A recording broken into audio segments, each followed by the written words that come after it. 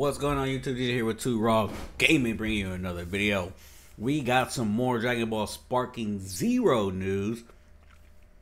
Honestly, I wasn't expecting any news until next week, um, like around the 20th, 21st. But we got it this week. Um, I think it was like a day or two ago. I would have had the video uploaded already, but Houston just had like a huge storm, and our power's been out, and like it's it's just been a pain in the ass. So we're here today. We're gonna drop this this video. Uh, we have some V jump scans, of course. Uh, this time though, we only have uh, one uh, image for for the scans this month. I just ate an ice cream um, sandwich, and like now my mouth is really, really like just mm, moist. I don't, I don't. Nah, that sounds weird, but whatever. All right. Anyways, uh, so this uh, this month's um, character reveal says uh, new generation Saiyans or Saiyans, however you want to say it. Uh, sparking sparking characters files number four. We have Kid Trunks, Goten, uh, Kale, and Khalifa. Caulifla, I should say. Um, no Cabba though, so I don't know. Maybe maybe they don't like Cabba, or, or I, I, don't know what's going on with that. But anyways, go ahead and zoom into the uh, photo here. Um, so go ahead and zoom up here on Trunks. So Kid Trunks, he has his normal form, and then he has his Super Saiyan form. Uh, so he's of course got the finish Buster, and I don't think they show his a move for. Okay, yeah, it doesn't show a Super Saiyan move for him. It says a uh, character with high firepower specials and key attacks initiate a one-sided onslaught of long-range attacks on your enemies. I figured Trunks would be long range uh, just because of Vegeta. Uh, they both have a tendency to try to fire blast from from a distance during their fights, um, and then of course you know Vegeta can also uh, be be a little uh, cocky and, and, and, charge in and think he he can he can outclass people in the hands, and most of the times he's the one getting outclassed. But anyways, uh, so yeah, so Trunks has his finished Buster attack here. Uh, it says uh, this stubborn young man. It says rush down your foes with key blast. So that's that's pretty much it for for for Trunks. Uh, underneath that is the Dragon Ball Sparking Zero logo. Then it says age and gender are irrelevant in the sand battles. Promising rookies and female warriors make a grand entrance in this new entry. Um. oh. Next we, why does it keep doing that? All right, next we've got uh, Goten, as you guys can see here, uh, uh, the normal form and Super Saiyan form. Uh, this is his headbutt assault attack uh, that he did on Trunks in the World Martial Arts Tournament. Uh, it says he's great at close range fights. Transforming into a Super Saiyan will power up all your attacks.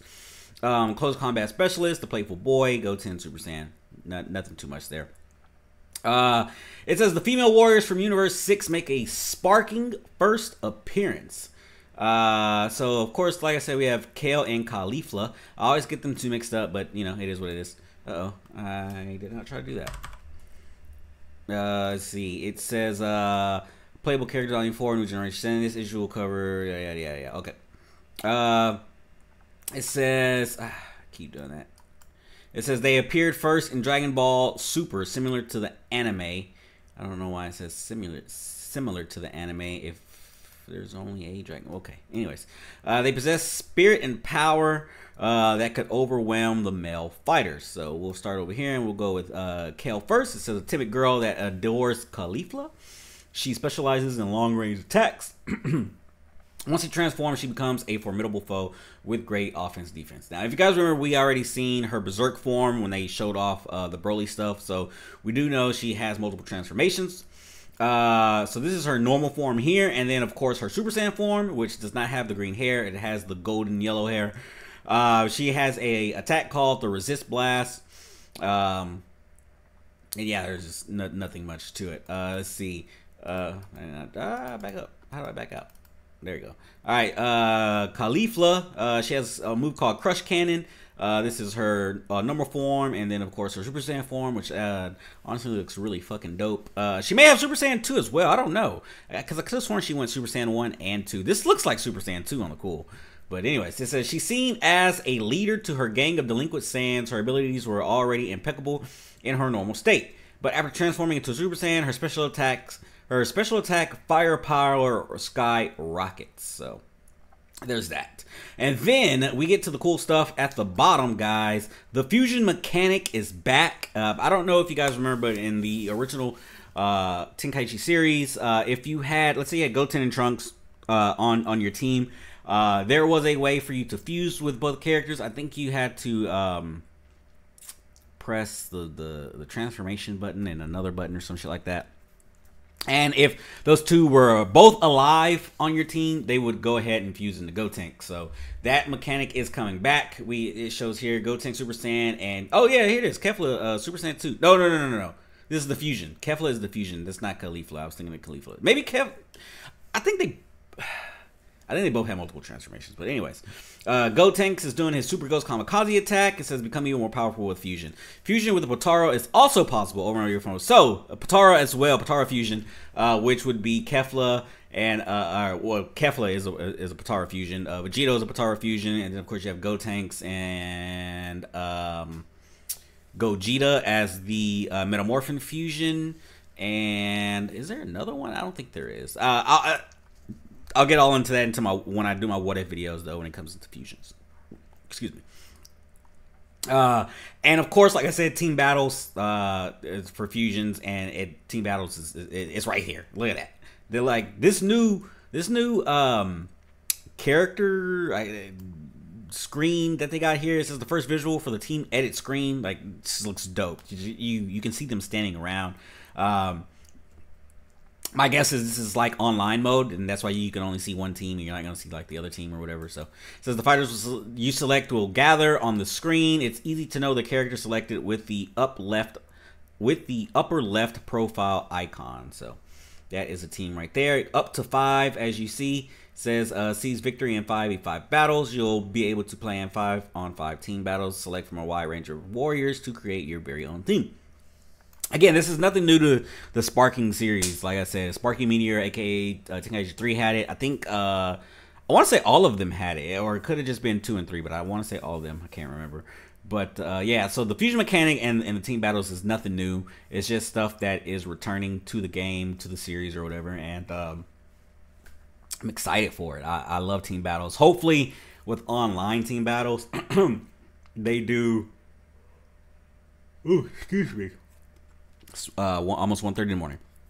Hopefully, online team battles, you can have up to like 10 people playing. You know what I'm saying? You know, 10, 10 it's it's 5v5, so it's 10 characters, and maybe you can get your friends and shit and like uh, face other people and stuff like that. So that'd be dope, but we'll see. Uh, kind of like I think I think they do that on uh, FighterZ with the 3v3. So, anyways, that's it for the scan, guys. Like, um, excited. I'm a huge Trunks and Gotenks fan. Uh, the next thing I want to talk about right here, it says uh, the release date for Dragon Ball Sparking Zero says 2024 according to the Singapore IMDA rating. This is making the rounds, but we should get full confirmation soon. Uh, and I will talk about that soon here in a bit. But as you guys can see, there is uh, Goku. Uh, it says Bandai Namco has won quite a few hearts, Sparking Zero, blah, blah, blah. All right, so this is the part we want to talk about. So, uh, according uh, according to IMDA, there's this Infocom Media Development Authority, which is the official entertainment rating body of Singapore. It says the game's recent res- uh, registration on their mentions 2024 as the release as the year of release, and if previous reports are anything to go by, specifically Sparking Zero already I mean, also getting rated by the ESRB, which hints at an imminent launch as well it's unlikely that this one's getting pushed to 2025 now. So we are looking at uh, a 2024 release. Now, I don't know if you guys remember, but a few months back, I did do a video saying uh, that there was a huge, heavy rumor of the game releasing in October of 2024. Uh, which would be fall of 2024 makes a lot of sense because we like i said we still have dragon ball daima coming out in fall of 2024 so with that I believe you would want to capitalize and release both within the same time period because people will have an anime to watch and then they also have a game to play. You may not get the Daima characters in the game until like uh, uh, 2025 when they start dropping a DLC, but for people, pe- we've we've wanted this Dragon Ball comeback since uh, Super ended like what six years ago or something like that. Uh, damn, super. Ah, Lee. It's been that long, anyways. But yeah, so that's gonna be really good if the game drops 2024. Like I said, if it does drop 2024, I can definitely see a fall release of 2024. Now, the very soon, the confirmation very soon, uh, guys, is that um, Bandai Namco will be at the Summer Game Fest uh, this year, and it's heavily rumored that they will be dropping the release date of uh, Sparking Zero if they drop the release date of Sparking Zero at Summer Game Fest, I fully expect if a beta is planned, if a beta is planned for this game, I fully expect for that beta to also be announced. Uh, um, not only announced, but also like a release date, uh, a date for the beta uh, given as well. So I, I, I doubt they go without making a beta for this game because I think they I think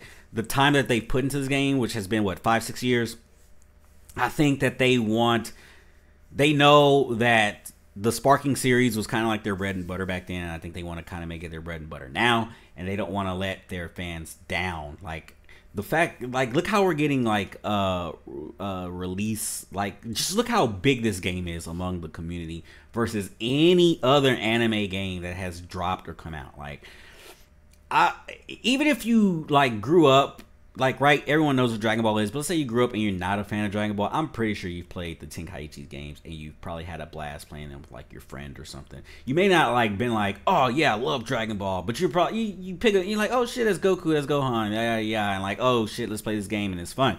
Like Dragon Ball is Sparking Zero is huge right now. Like everyone, every damn near every anime fan is probably waiting on this game to drop, and I think putting a beta and in the fans' hands, but you know, just to test it, even if it's for three days. If they just do a weekend, like I would be satisfied. I think that I think that'd be a great thing. I think, um, I think FighterZ had a week beta, if I'm not mistaken. It was like a week, a week and some change or something like that, or maybe maybe it was less. I think it was a week. Um, but uh, you know, like I said, they they they've done betas before. Sparking, uh, I mean, uh, FighterZ, um, Kakarot demo, uh, the the survival game that's break breakers. I think that's what it's called. Yeah, that that game. So, you know, I I, I think um. I think we're getting a beta. I think at Summer Game Fest they're gonna announce a fall 2024 release date, and I think they will announce a beta to go along with that. Could be wrong. It's, it's just what I'm thinking. So, anyways, guys, that's it for this video. I will see y'all in the next one. I'm out. Peace.